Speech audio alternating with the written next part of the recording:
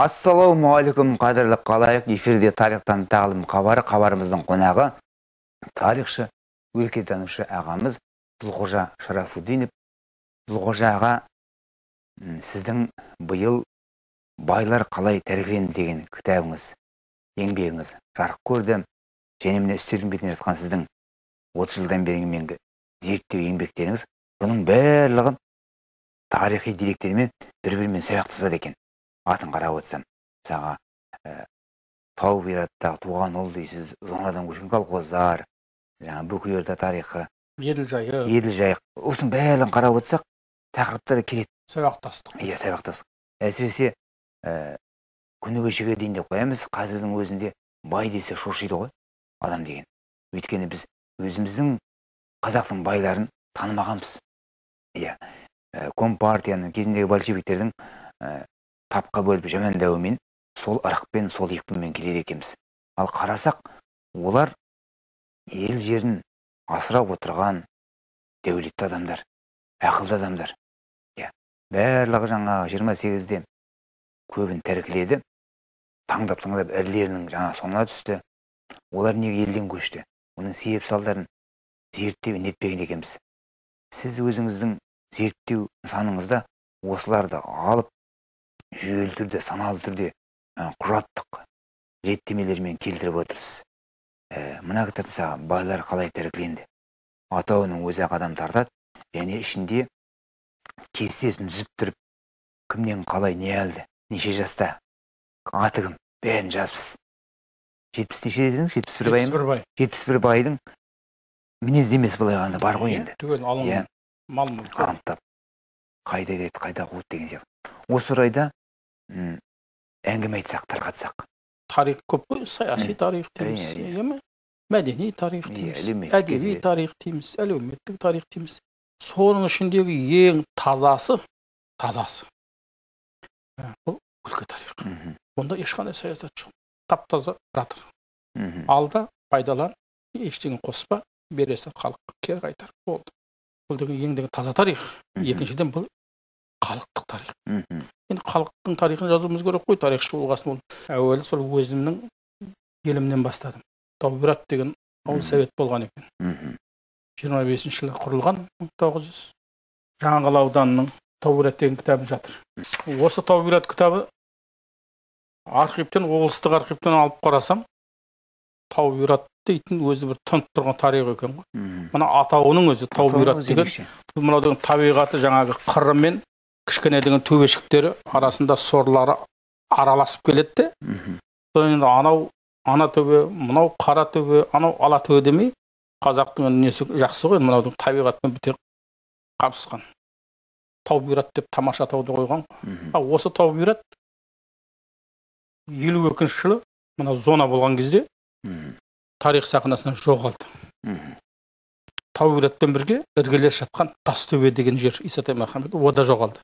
Енді көбіне көп сол мына тастөбе соғысын жазуымның себебім мен сол жердің адамы болғаннан кейін мына табиғатыңнан сол жердегі тартады екен сондықтан өзім мынау тарихшы болғаннан кейін оның методикасын әдістемесін оқығаннан кейін меңгергеннен кейін осы бірінші өлке тарихын деп. зона полигонның жері иә одан кейін ол полигон кетті ол жерден.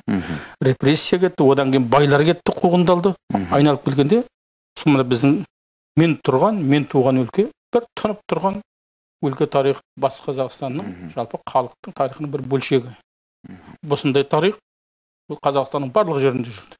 Жаңағы ауыл советтерінің құрылуы.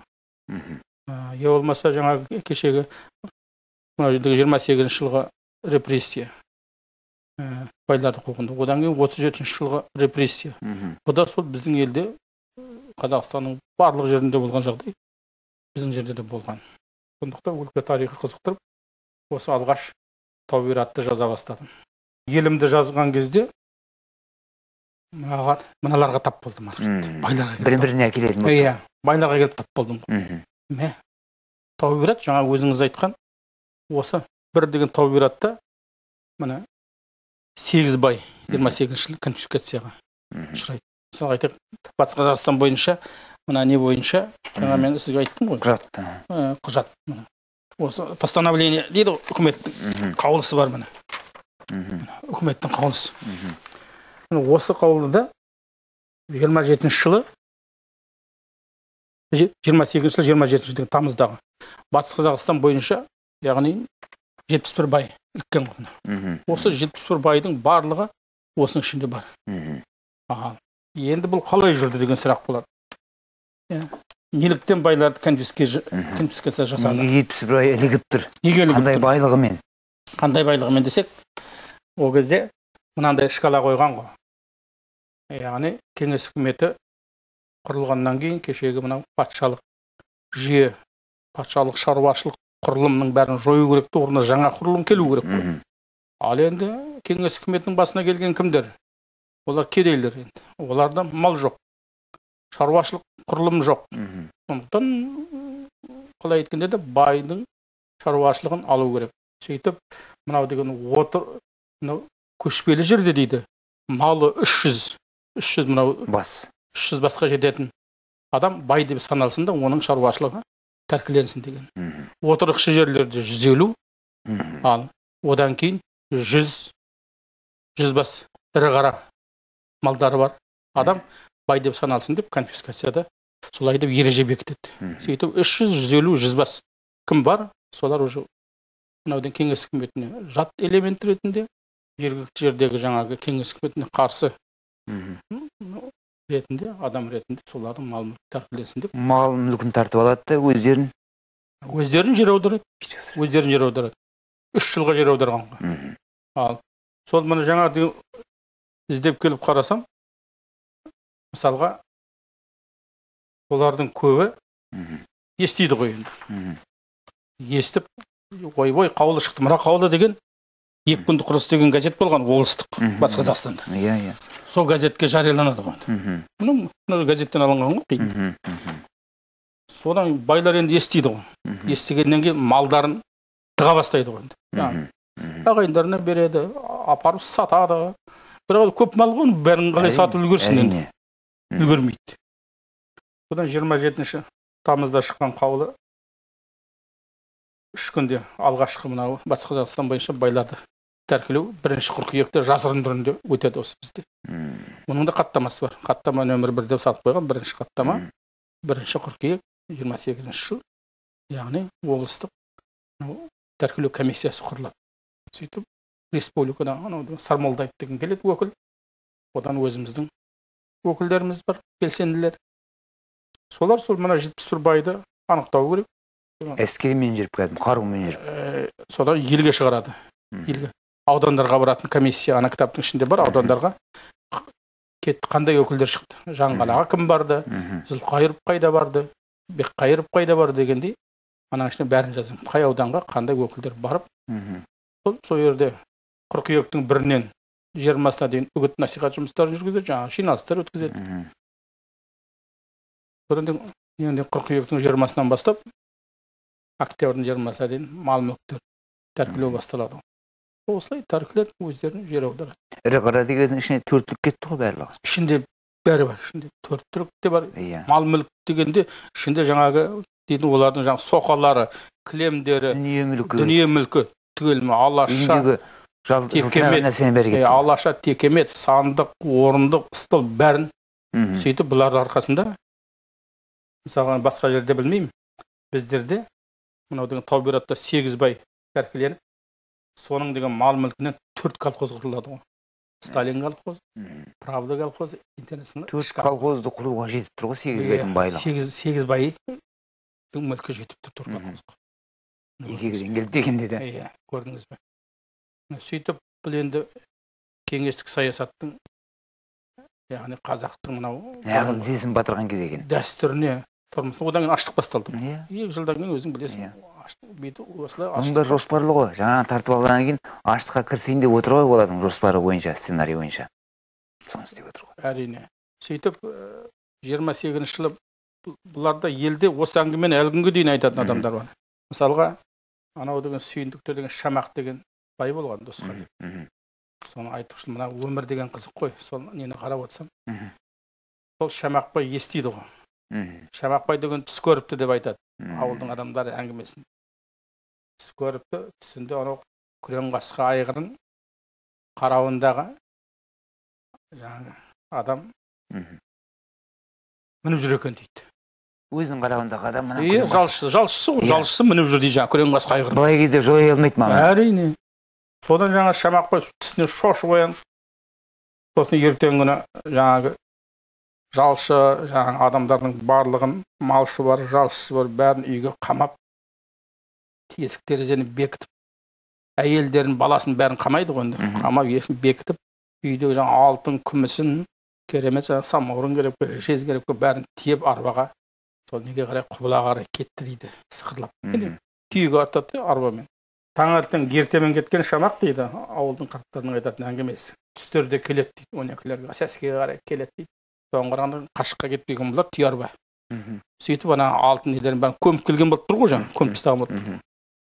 Келіп есікті ашып дым болмағандай. дым болмағандай. Содан ертеңгі күні ордадан жаңағы комиссия. өкілдер келіп қастарында қыз әскерлермен шамақты тұтқындап жаңағы малын жерін алып жаңағы деген жалшыға сенің еңбегің деп күрең ас күрең қасқа айғырды береді жаңағы. Түсіндегі нәрсе иә болады. өңінде көріп тұр ғой. Сөйтіп шамақ дейді жиырма сегізінші жылы кетіп дейді. Содан үш жылдан кейін менің әкем айтып отыратын маған. Лабайда тұратын сүйіндік. Сәумен деген ақсақал айтты ақсақалдың әңгімесі ғой. Содан біздің әкеміз айтып отыр сөйтіп сөйтіп шамақты жаңағы түс көріп солай солай болып содан шамақ жиырма сегізде кетіп содан отыз үшінші жылы елге келді дейді жаңағы шамақ үш жылға дейін бұлар жер аударып жіберген ғой. Үш жылдан кейін ғана келесіңдер одан келмейсіңдер. Одан ұзақырақ ұзақ болған екен. Иә үш жыл. Мерзім берген. Содан олар келіп отыз үште дейді шамақ.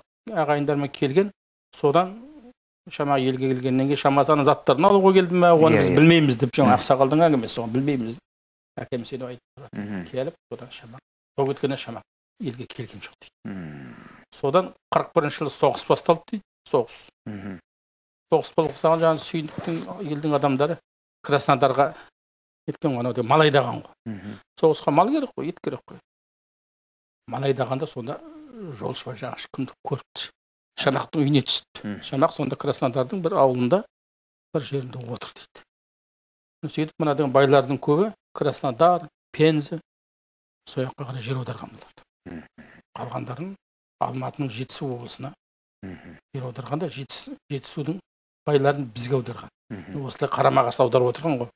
Үкімет деген мына нені шығарғаннан кейін қаулыны оның ар жағында қай елдің несі деген байы қай өңірге барады ана өңірден ана өңірге барады барлығын уже алдын ала бекітіп қойған және де отбасыларын айырып баласын ата анасынан айыру ода жүріп өтті ғой ода жүріп жатты мысалға неде архив құжатында бар мына деген жымпитыдан кеткен байдың несі деген шешесі үлкен кісі болған ғой тоқсан келіп қалған соған дейін хат жазады облыстық мына неге комиссияға осылай менің анам жүре алмайды қалдырып кетейін ағайындарыма дейді жоқ болмайды дейді сөйтіп тоқсандағы кемпір де сол бірге кетеді иә ода кеткен бұл архив деректері дейтін деп барлығы қалай жүрді барлығы сайрап жатыр сонда бұл ссср үкіметі совет үкіметі ә, жерді босатып босатуды көздеп тұр бірақ босатқанмен жаңағы әрлі берлі көшіру арқылы айранда үйіп отырған халықты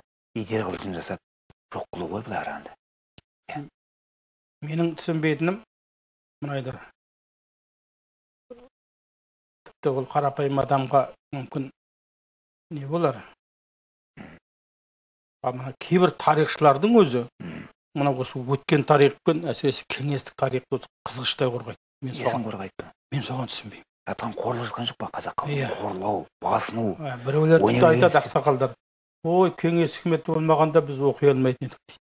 Деген әңгімені айтады былайша айтқанда ал өкінішке орай осы мына кейбір деген тарихшыларымыздың өзі сол. Мен сол кезде ғалым болмас едім кеңес үкіметі болмағанда. Иә сауатсыз болып қалар ма едім деген әңгімені айтады бар ғой бар ғой. Отырды ғой сондай адамдар. Ауылдан көріп қалдық жаңа соғысты көре қойсын басшы бола қойсын төрінде ленин мен сталиннің портретін тастамайтын. Әлі күнге дейін құрметтейтіндер бар. Мен- мені сосын бір таңғалдыратыны сол өткен тарихпен әлі келе жатырмыз. Мхм. сол маған қорқыныш ұялатады әрине өткен тарихты жамандамау керек болар но бірақ жақсы деп те айтпау керек. Біз әлі өз тарихымызды жазған жоқпыз. Халықтың тарихы қазақтың тарихы әлі жоқ. Мен бір ғана мысал айтайын. Кеше ел болып 550 жылдықты тойладық қой қазақ хандығын. Иә иә. Сонда қазақ хандығын тойлағанда өзің ойла. Ол қазақ хан жәнібек пен керей әбілқайырдан шағатайдың ұрпағы. Бөлініп шыққан. Ағатайдан ә, неден де шағатайдан бөлініп былай шықты. Қозыбасқа келді. Ал жәнібек пен керейің ол жошының ұрпағы. Ал әбілқайыр хан ол шағатайдың. Ал жошы шағатай үгедей деген моңғолдың үш ұлы ғой енді үш ұлы сонда ана шағайдан бөлініп шығып мына шағайдан келіп қазақ хандығын құрт дегеннің өзінде де қазақтың билігі онда жоқ. Онда сол әлі моңғолдың билігі. Ал осыны біз деген ұлан ғасыр етіп тарихшыларымыз сол туралы әлі де жаза- жазғысы келмейді. Мен енді оларды білмейді емес деймін. Менің ойлағанымды олар да ойлайтын болар. Иә. Мысалға өткенде мен бір нені оқып жатсам мынадай жырауларды. Мұрат мөңкөлінің бір сөзі бар. Неғыл дейді? Аунатып ақ киізге қан қойыпты байұлы бір кеңесте бөденені дейді. Ал ол бөдене қан қай кезде болды? Ал бөдененің атының өзі ол енді қазақ руларынан шыққан төреден емес қой белгілі. Ал міне осындай бір біздерде әлі санамыз мына отаршылдық мына отаршылдықты айтамыз айтамыз. Оны айту үшін бірінші мына отаршылдық санамен күресу керек. Мына отар мынау санадағы отаршылдық идеяны жоюымыз керек. А ол үшін мыналарды көптеп шығаруымыз керек міне. Халықтың көрген қасіретін кеңес үкіметі кезінде. Сондықтан мына өлке тарихын зерттеген адам көп нәрсені біледі. Көп нәрсені ойдан өткізеді. Қалтарыс бұлтарыста жатып қалған көп нәрсені білесің. Сонда мен ойладым мә біз дейтін баяғыда саяси тарих кпсс тарихы дейтін ештеңе айтпайды екен ғой. Нағыз халықтың тарихы қазақтың тарихы осында жатыр екен өлке тарихы Бұл жаңа қайтып оралайықшы мына еңбегіңізге. Жетпіс бір бай кімде сонда бұлар бұлар кімдер деп айта аламыз? Жаңа көзқарас бар ғой. Ой бай десе шошиды иә. Жемесең де май жақсы бермесе де бай жақсы деп тұрады да. Бірақ бай десе шошиды ой олар бір халықты қанаушы езуші жаңа еңбегін бағаламаушы қылып Иә. көреді. Ал бұлар ұлттың ұйытқысы емес пе екен? Жаңағы тіпті әлақандай ағаш үйінің өзінде ұлттың жәдігерлерін сақтап отырған. Жаңа айттық қой тәркіленген кезде дүние мүлкіне дейін алып кетті. Сырмағын күмістен жасалған неше ер тұрман әбзел бәрін алып кетті деп. Осылар кімдер сонда? Бай бұлар енді қазақтың өзі айтып берген ғой. Бермесе де бай жақсы жемесе де май жақсы. Бай бұл қазақтың жергілікті жердегі қазақ халқының ұстасы деуге болады ұстасы байға қарап ел түзелген. Бай деген сол қазақтың жергілікті қазіргі тілмен айтқанда былайша айтқанда зиялысы деуге болады. Зиялысы оқығаны сауаттысы.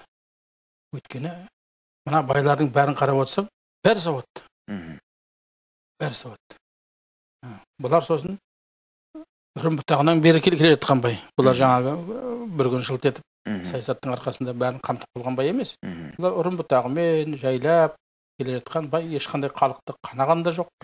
Ә, өзі қазақтың мынау деген дәстүрімен сондықтан мен мынау осы қазақтың байлар бұл қазақтың ұстасы деуге болады ұстанымы.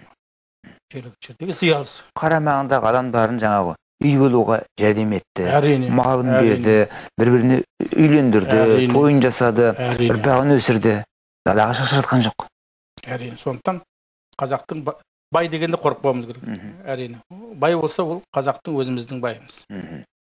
Ә. кеңе совет үкіметі осының бәрін зерттеп алып соларды жоқ қылуда тұр ғой сонда бұл халық деген теңдіреп қалады. Сосын иә. қайда дейміз өзі біледі. Жаңағыдағы білім ауыл жаңағы ілбішінге көшіргендегі мына жақтан оңтүстікке көшіргендегі полигон кезінде барлығы осы саясат болып тұр ғой. Халықты теңдіреді иә мысалға ана кеше деген протоколдарда өкілдер ауылға барғанда жоғарыға мында орал облысына хат жазады ғой өкілге. Сонда жазған өкілдердің кейбіреуі былай деп жазады. Жергілікті жерлерде кедейлер байларды қызғыштай қорғайды дейді. Көрдің бе? Значит қорғаса жақсы көріп тұрмын Міне, міне. қызғыштай қорғайды. Олар деген байлар болмаса өздері күндерін көре алмай қалғандай болады. Сондықтан олар байға қарсы ешқандай шықпайды деп сөйлейді. Біздер мысалға деген ауылға барады да өкілдер айтады ғой. Ал енді сен старший не, не боласың ауыл не боласың десе жоқ ана ана бай болсын мен болмаймын деп кедейлер қаша бастаған ғой. Мхм. мына қайда жатыр. Сондықтан осы сондықтан бай деген ол ешқашан да қазақты езгіге салмаған.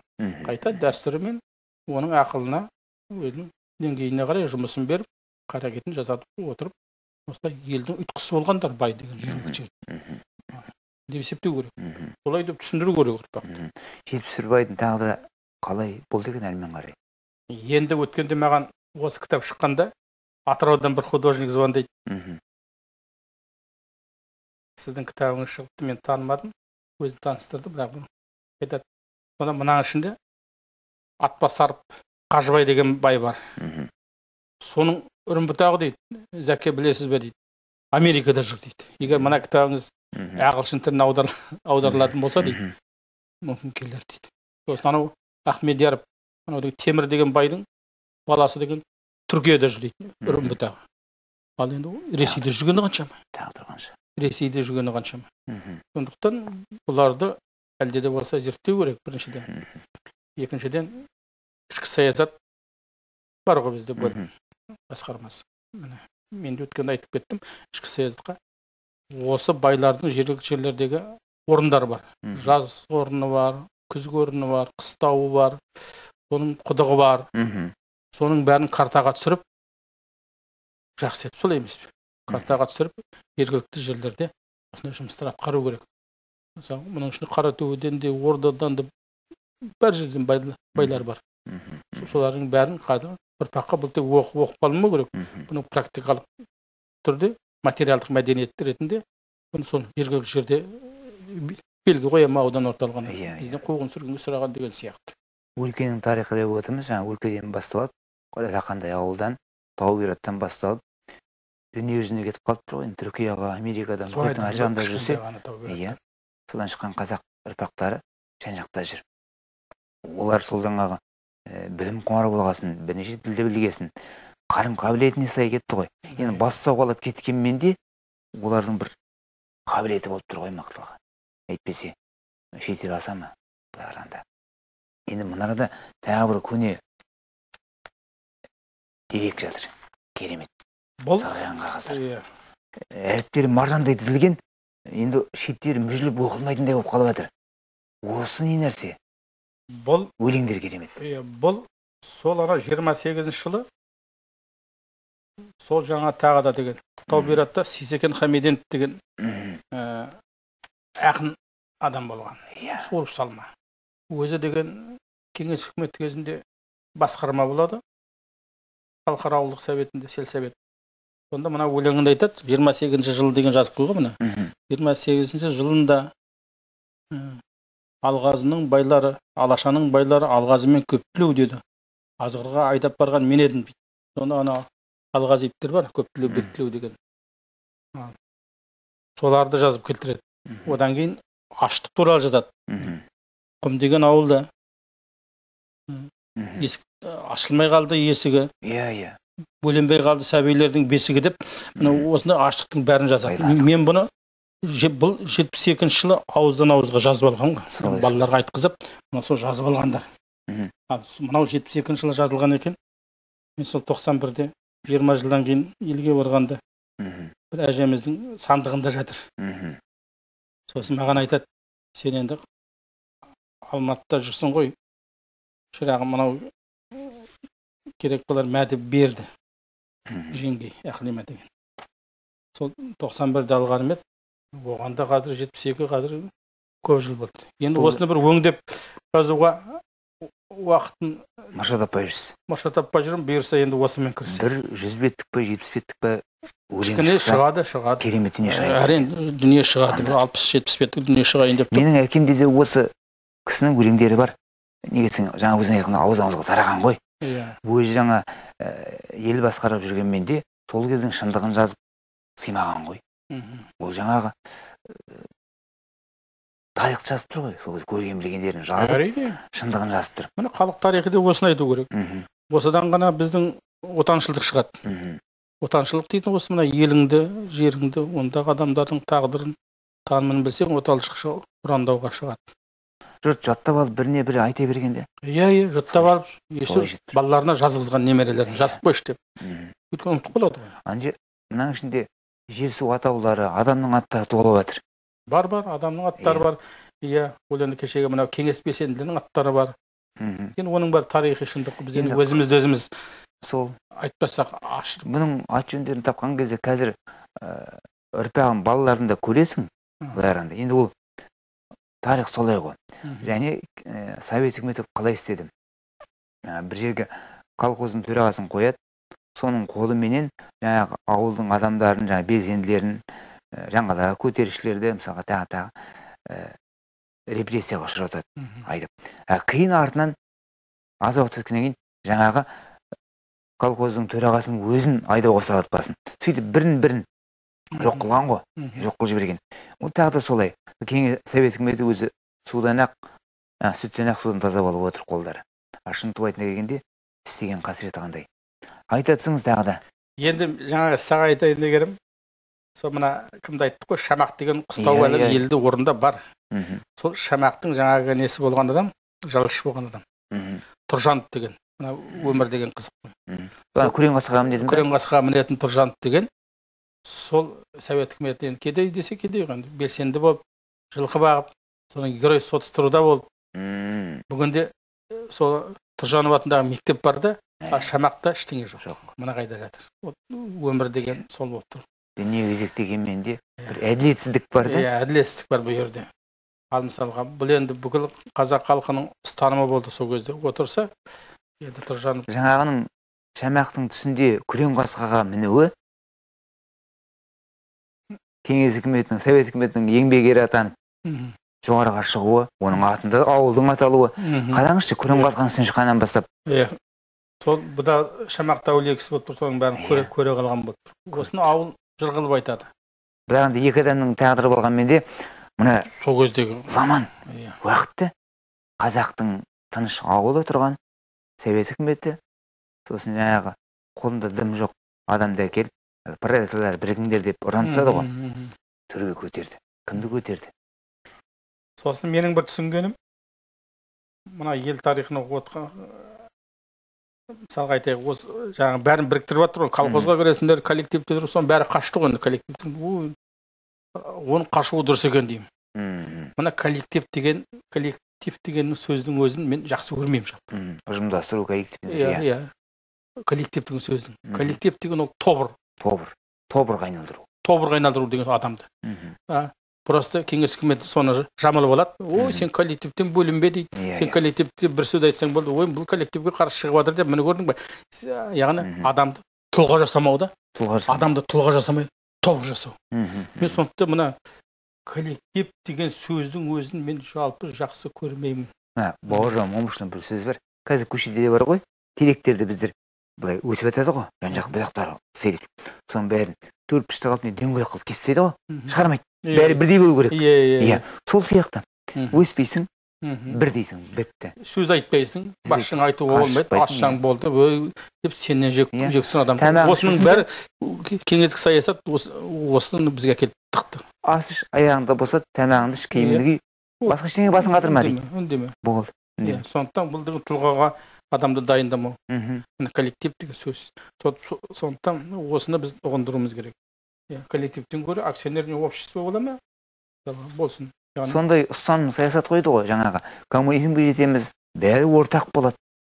Дүние мүліктің бәрі ортақ Иә, болады иә, деп мә бір керемет деп өмір қалды сондықтан осылардың өлке тарихын жазғандағы себебім сол мына санамды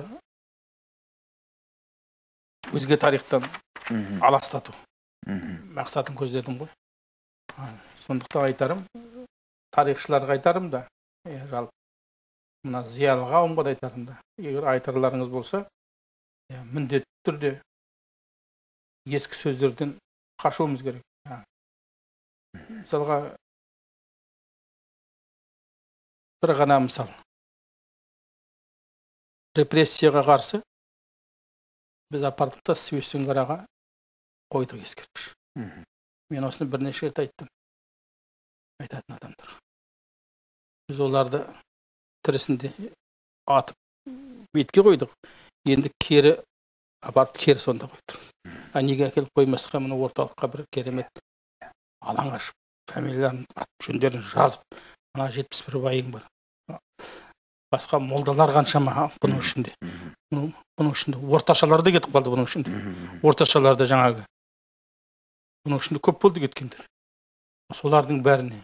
Сөйтіп біз әлі де болса да біз мына қуғын сүргінде әлде де болса да сол елден қашықтау шет жерге әлде де тығып ұстап отыр тарихтан тағам ретінде бір жерде болса қалаға маған жақын жерде ортасында. адам өткенде ол жерден ойланып бітіреді мысалға совет үкіметін қорғау үшін құрбан болды ғой ата бабалар соғыс кезінде екінші ел олар қаланың маңайында былай қарағанда. Жаңа сіз айтқан сөзбен шығады. Иә. Мәңгілік алау тұр. Оған барамыз. Өйткені ол совет үкіметін қорғамай кеткендер ал қазақтың өзінің ауылын жерін қорғаймын дегендер жоқ. Сондықтан да осы арада әділетсіздік бар. Әділет па кеше ғана президенттің өзі неде атырауда өткен алқа жиынында айтты ғой. Біз мына кеңестік ескерткіштерден кеңестік нелерден арылуымыз керек. Енді арылуымыз керек болса арылуымыз керек дұрыс айтады. Мен қолдаймын мысалы арылуымыз керек. Қазіргі көшенің аттары өзіміз кеше кеңес үкіметінің тәуелсіздік алып шығып тұрмыз да а өзіміз сол кеңес үкіметіне қызмет жасаған енді олар еңбектер адал болар жасасын. Бірақ олардың енді мемлекеті жоқ. Бірақ соларға әлі де мынау қайраткер деп үйлерге табличка қояды. Олар кешегі былайша айтқанда қанішер иә қолдап жасағандар. А соларды келеміз де қайраткер дейміз бұнымен біз өспейміз сана. Сана өспейміз. Осылардың барлығын кеше айтты енді президент. Ке- кеңестік неден арылуымыз керек. Ескерткіштер әлі тұр мысалға мына шағана деген набережныйде тұр ғой анау папшин Иә. азамат соғысына. А оның не қажеті бар? Оған жыл сайын Иә. Ал енді чапаев тұра берсін. Чапаев ол деген шубаш. Мен кейде енді дискуссия бір қонақтықта да болып қалады ғой. Сонда шапаевты жақтаймын. Ол деген шубаш біріншіден. Шоқынған. Шубаштар шоқынған шубаш ол негізі. Ағасының кегімен кетіп қалды ғой ол да. Осыған. иә деп сөйлеймін. Сондықтан ол кеше казактарды мына Ор- оралды азат етуде қызмет жасады біршама. Ол тұрсын оған қарама қайшылығы ғой енді. Иә қарама қайшылыққа деймін. Тарихшыларды мен өзім екіге бөлемін Мхм. тарихты жаса, жазатындар тарихты жасайтындар. Мхм. тарихты жазатындар олар сол ананың кітабынан мынаның кітабынан көшіріп алып ешқандай не жоқ деп жаза салады. Мхм. ал тарихты жасайтындар олар жаңа деректермен осылай халыққа әкеліп өзінің жаңа тарихын лақтырып тастайды. Ізденеді. Иә жаңа тарих жазады Мхм. тарихты жасайды. Сондықтан болашақ тарихшы боламын деген адам ол тек тарихты жазу емес. Оны жасау керек. А жасау үшін архивке бару керек. Жаңа тың деректерді ғылыми айналымға түсіру керек. Халыққа ұсыну керек. Сонда қазақтың тарихы жасалады. А біз тек қазақтың тарихын жазып жатырмыз жазып жатырмыз жазып жатырмыз. Ешқандай тарих жасалып жатқан жоқ дегім келеді А, қожаға уақытымыз сырғып сыныптай өте шықты. Жалпы еңбек еңбегіңізді жазып жатқан ел жұрт халық көріп біліп қолына тиіп жатыр ғой. Шүкір тиіп жатыр жақсы. Халық қолдап жатыр солардың арқасында осы еңбектер шығып жатыр. Елге барып жүрміз аралап жүрміз айтатынымызды айтып жүрміз. Көп рахмет сізге. Келіп таугераттың тарихымен тарқатып шетке кеткен ұрпақтарды айттық.